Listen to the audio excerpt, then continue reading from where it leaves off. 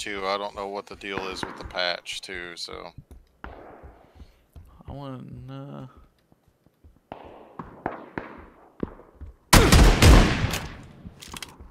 Uh, it's a very strange UI he had too.